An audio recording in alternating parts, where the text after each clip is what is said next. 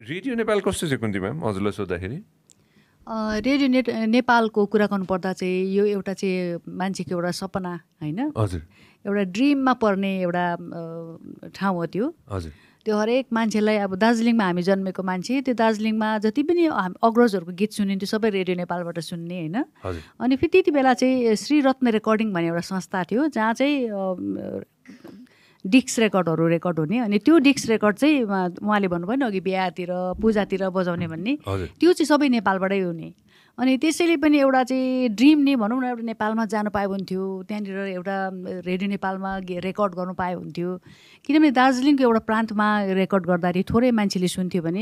Radio नेपालबाट record गरेर यदि सुनाउनु सक्यो भने चाहिँ प्रायः प्रायः सबै नेपालीले नै सुन्छ होला जस्तो लाग्ने कि। किनभने हामी पनि रेडियो नेपाल भनेपछि हुरुक्कै म त रेडियो नै बोकेर सुत्थेँ। अनि कहिलेकाहीँ मेरो बुवाले गाली गर्ने कि अनि रेडियो नै बोकेर भाग्ने। अनि त्यो त्यस्तो थियो म भनेपछि अब रेडियो नेपालमा आउने त्यो एउटा भनौँ न ठुलो सपनै बोकेर आएको र नभन्दै अब हामीले चान्स पनि पायौँ रेडियोमा। आउने बित्तिकै मैले पहिलो गीत भोइस टेस्ट पासै नगरिकन रेकर्ड गर्ने मौका पाएको हो।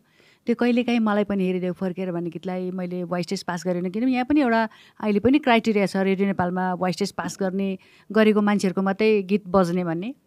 तर म चाहिँ मेरो चाहिँ मैले गरिनँ भनौँ न त्यो उहाँले मेरो सिङ्गिङ क्वालिटी र मेरो गीतको त्यो जुन चाहिँ एउटा स्टाइल छ होइन त्यसैले पनि त्यो बजाउनुपर्छ भनेर उहाँहरूले बजाइदिनु भएको तर पछि चाहिँ हामी जब नेपाल आयौँ आइसकेपछि हामी दुईजनाले नै शास्त्रीय सङ्गीतमा चाहिँ हामीले भोइस टेस्ट पास गऱ्यौँ र त्यसपछि चाहिँ स्वतः हामी सबैमा पास भयौँ। तर एउटा भनौँ न त्यति बेलाको एउटा सपना चाहिँ रेडियोमा जाने भनेपछि ठुलो एउटा सपना हो। त्यहाँ पुगेर गीत गाउनु भनेपछि धेरै ठुलो भनौँ न काम गरेको जस्तो हुने क्या आफूलाई।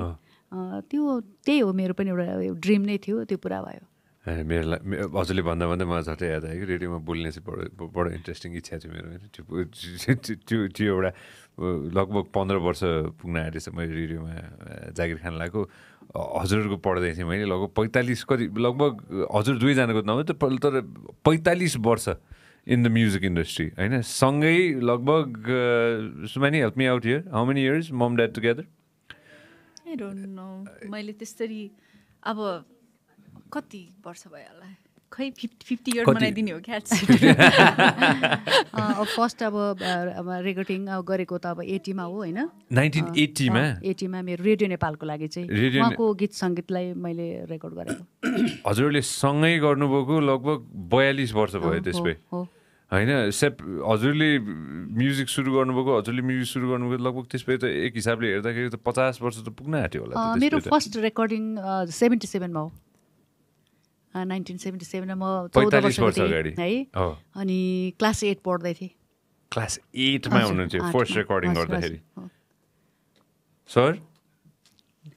म त्यति बेला म्युजिक सिक्दै थिएँ म क्लासिकल सिक्दै थिएँ। हो गुरु भइरहेको। है मेरो छोरा आज आज हामी जेनरल होइन है है यहाँ वाइट सर्टमा देखाउन मिल्छ एक्स छोरालाई? होइन अफकोर्स मिल्छ होइन पैँतालिस होइन त्यही त मैले त्यही भन्नु थिएँ कि सँगै त्यो एकअर्काले सँगै अब काम काम काम भनेर भन्छु है म यसलाई काम पनि सँगै घरमा पनि सँगै होइन त्यो त्यो क्रिएटिभिटी एक हिसाबले हेर्दाखेरि चाहिँ होइन सँगै हुँदाखेरि झन् धेरै हुने हो कि हजुरहरूको बिचमा पनि एमसियर हुन्छ नि कहिलेकाहीँ चित्त नबुझ्ने होला यो यसरी भएन भन्ने पनि हुन्थ्यो होला होइन त्यो कतिको हुन्थ्यो दुईजनामा चाहिँ हुन्छ नि होइन त्यो क्रिएटिभिटीमा पनि कहिलेकाहीँ त्यो टक्राव हुन्छ नि होइन? कि हुन्छ नि मलाई यो चित्त बुझेन अथवा मलाई यो चित्त बुझेन भने त्यो अहिले पनि हुन्छ कि पहिला धेरै हुन्थ्यो कि त्यो ब्यालेन्स सोद्धाखेरि के मैले? मलाई हुन्छ। दुईजनाले नभनेर। हुन्छ किनभने कहिले कहिलेकाहीँ कस्तो लाग्छ भने यो अझै यो गरिदिउँ राम्रो होला होइन? यो यसलाई अलिकति चेन्ज गरौँ। अथवा यो भएन भनेर उहाँ फेरि एकदमै कस्तो हुनुहुन्छ अँ, यो- अलिकति भएन भने चेन्ज पनि गर्दा उहाँ दुःखी हुनुहुन्न कि रिसाउनुहुन्न। यसलाई अझै राम्रो गरौँ के भयो त उहाँको छ भनेदेखि होइन? अनि कहिलेकाहीँ मैले पनि गीत गाइरहेको हुन्छु उहाँलाई चित्त बुझ्दैन। यो भएन अब मैले एउटै गीतलाई मैले नौपल्टसम्म गीत गाएको छु।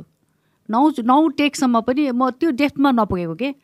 अनि उहाँ उहाँलाई चित्त बुझ्दैन। अब म म किन मिसिङ हुन्छु? त्यो थाहा भएन। सायद म भित्र कमी कमजोरीले पनि हुनसक्छ। अनि नौ नौ नौ टेकसम्म भनौँ न नौ दिनसम्म पनि मैले चाहिँ रेकर्ड गरेको छु। उहाँलाई चित्त बुझाउनलाई। के भयो त्यो शिला सर? त्यो दिन चित्तै नौ दिनसम्म चित्तै बुझेन के खोज्नुहुन्छ? त्यो एउटा त्यो इनिसियल स्पार्क के हुन्छ नि होइन? हजुरलाई चाहिँ के आउँछ? हुन्छ नि कानमा के पुगेन जस्तो हुन्छ? कहिलेकाहीँ? सोध्नु मिल्छ भने मैले कहिलेकाहीँ हुन्छ नि यो गीत सुन्दा मजै आउँदैन के हो यो मजै आएन मैले गाउँदा मलाई आफूलाई कस्तो आनन्द लागेको थियो त्यो गीत सुनेर किन मजा आएन भन्ने लाग्छ क्या आफूलाई फेरि भन्नुहुन्न कि उहाँले देख्छ मात्र कि भित्रबाट मात्रै गर्ने कि बाहिर? त्यो त्यो म्युजिकको एउटा डेप्थ भन्ने कुरा चाहिँ त्यो हो त्यो गहिराई भन्ने कुरा त्यही हो होइन?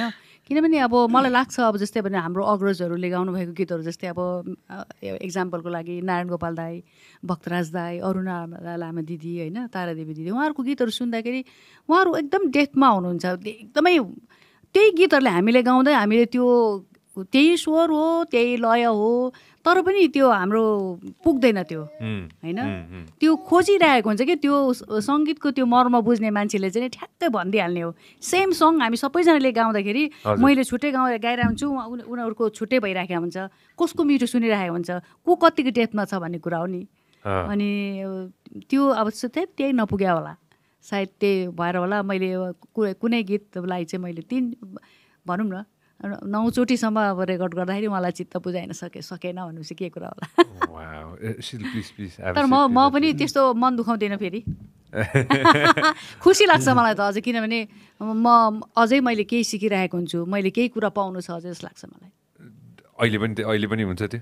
अहिले पनि हुन्छ अहिले पनि म कहिले कहिलेकाहीँ गीत रेकर्ड गर्दाखेरि मैले गाइरहेकोमा अझै पनि मिसिङ फिल हुन्छ मलाई अझै पनि होइन?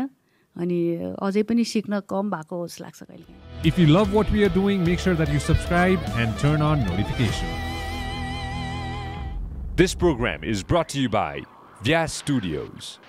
Thank you very much for watching us on YouTube. Make sure that you also listen to us on Spotify.